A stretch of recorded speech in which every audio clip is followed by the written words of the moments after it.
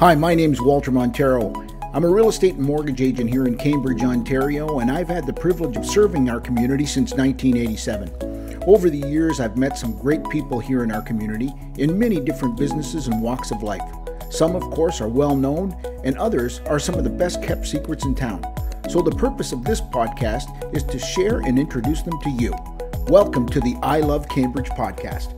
All right, great. So, tell us a little bit about. Uh, the Homer Watson House and Gallery. What's going on over there?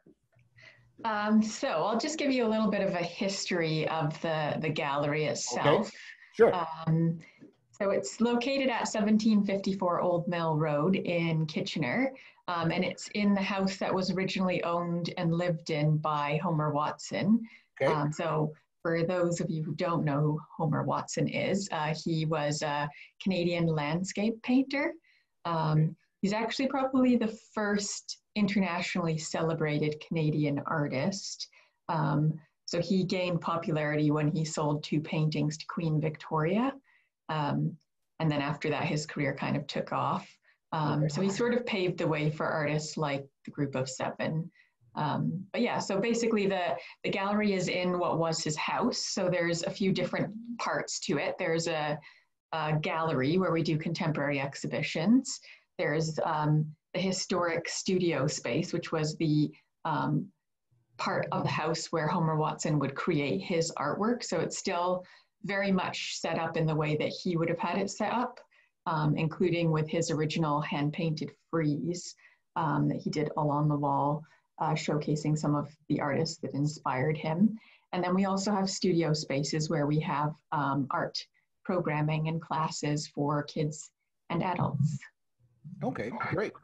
So I would assume now uh, with COVID 19, the gallery is closed, right?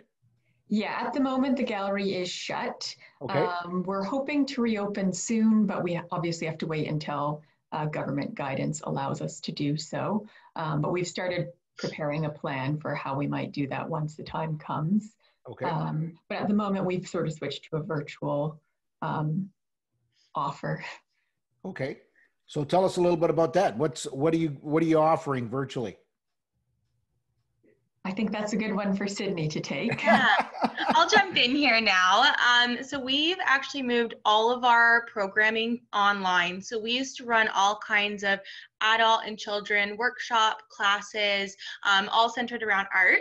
And we've since um, moved everything to a virtual platform. So we use Zoom, um, just okay. as we are right now, yep. Um, to host all of our classes. We run everything from watercolor and gouache painting to um, we have some ink and pen coming, uh, pen and ink, sorry, coming up, um, drawing classes. We've run sculpting classes as well.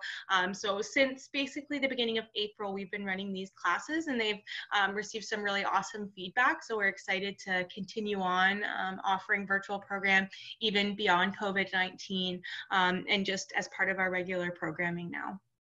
Okay, well, that's great. Okay, so tell me a little bit about the expertise of the people that participate in these classes. Are they beginners?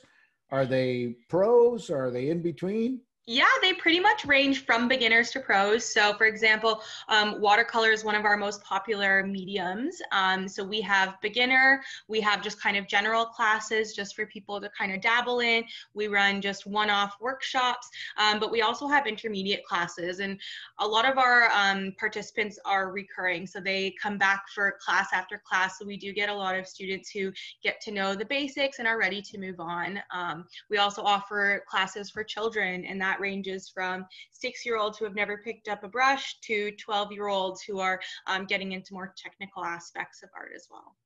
Very good. Okay. Um, and uh, so you told us a little bit about the uh, uh, Homer Watson himself. Um, talk about a little bit about the history of the site, I guess. Uh, can you give us a little insight on that? Yeah, so um, obviously the house was, I, I, mean, it was built by um, architect Ferry, but um, the Watsons moved in fairly soon after that. They always liked the house. So once Homer Watson's art career took off, he was able to purchase the house. Um, he did put two extensions on it. So that was the gallery and the studio space. Um, but after he passed away, his sister, Phoebe Watson, who was also an artist, um, sort of took over the site and managed it. Um, she acted as the curator and continued on um, celebrating his legacy. Um, after she died, then um, it became the Doon School of Fine Arts. So there was a few different people involved in uh, making that happen. See. but yeah, the Doon School of Fine Arts was modeled after the Banff School of Fine Arts. So Okay. it was supposed to be sort of a high-end art school. Um, and there were some really uh, well-noted artists that taught at the Doon School of Fine Arts. So one that probably most people would recognize would be uh, Fred Varley of the Group of Seven. So he taught there for Yep. about a year. Um, so it was a really successful school as far as uh, content. Um, but then eventually uh, the city of Kitchener uh, took over the property. So they now own the property and then it's run by uh, the Homer Watson House, House Foundation, um, which is us.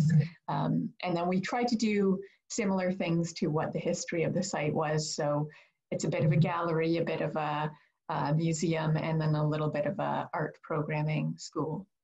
I see. Okay, great. Okay. So when somebody goes through it, how long would somebody like obviously when you're open after this crisis is behind us, Mhm. how long would somebody normally take to to walk through the uh, the gallery?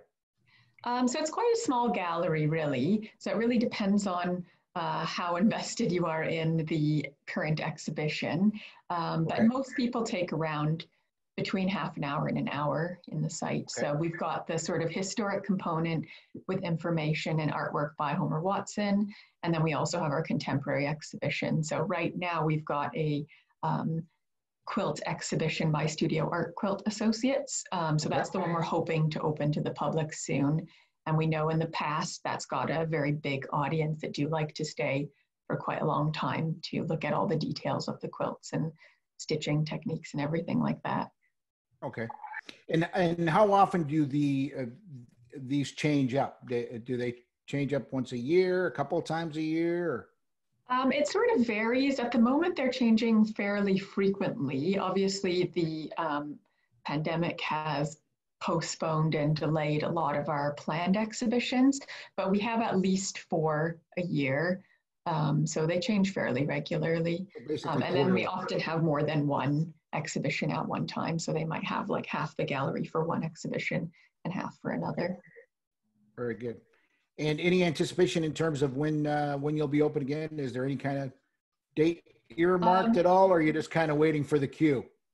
So we're hoping for early July, but again, that's entirely based on um, when we're permitted to open. But that's sort of when we we think we could manage opening by that point. So fingers crossed, that's that's when it will happen. But we'll we'll have to wait and see. Sure. And what about uh, like uh, what kind of traffic do you get through there? Like how many people get through there on an annual basis?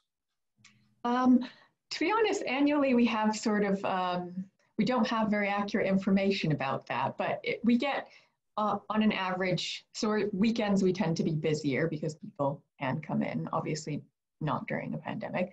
Um, but yeah, we have between sort of 10 and 15 people in on the weekend. Um, and then during the week, it really varies depending on the time of year. Often it's quite quiet, so it's a nice sort of um, quite personal experience. Um, but and a lot of people struggle to find us because we're in the middle of a subdivision. So um, Sure. we're not we're not often very busy, but we are looking to um, spread the word about us, and hopefully um, after we are allowed to open again, we'll get a little bit more um, visitors in. Great. And uh, what's the cost of admission? Um, so at the moment, admission is by donation. So there's a recommended $5 donation. Um, but yeah, Very good. Awesome. Well, this is great. I mean, uh, I uh, you know I often take Homer Watson. I just never really thought it through. yeah. yeah, very good. Now, is there? Um, um, you had mentioned that uh, COVID nineteen is keeping you quite busy. What what has changed that has is really testing your schedule? I guess. um, well, I think it's just partly keeping up with um, recommendations, guidelines. Um, you know, looking after your collection while you're not open is another challenge. Um, but also, the whole virtual programming side is actually quite a lot of work.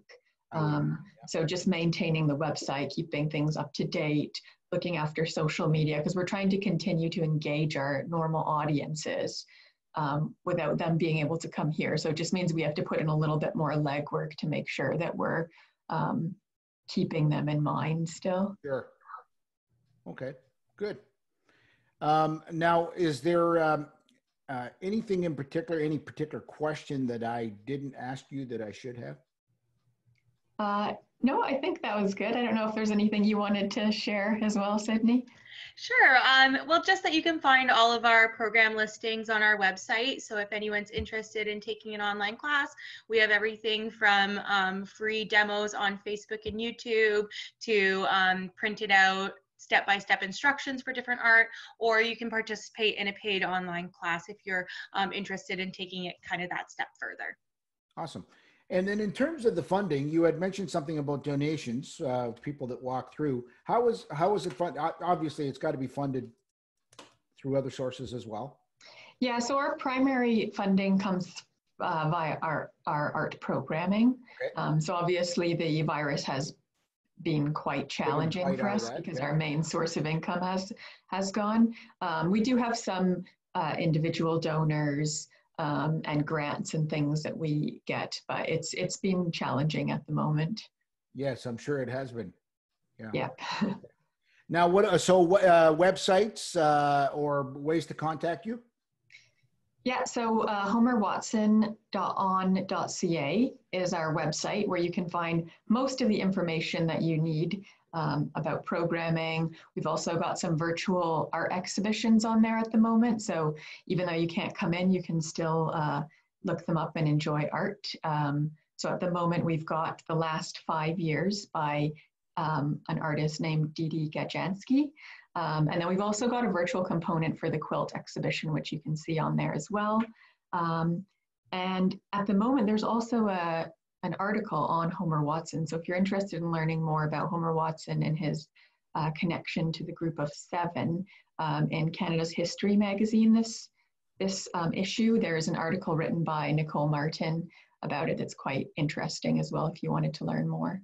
Oh, great. Excellent. So I, have got to ask you before I let you go, Tabatha, are you in relation to the Watson family in No, ironically, I, I ended up getting married just before I got the job. So I became a Watson just in time. But, well, there yeah, you go. Perfect. A, kind of a strange link. yeah, for sure. Well, hey, it's a great way. Do whatever you can to, to uh, sweeten up that resume, I guess, right? Definitely. Very good.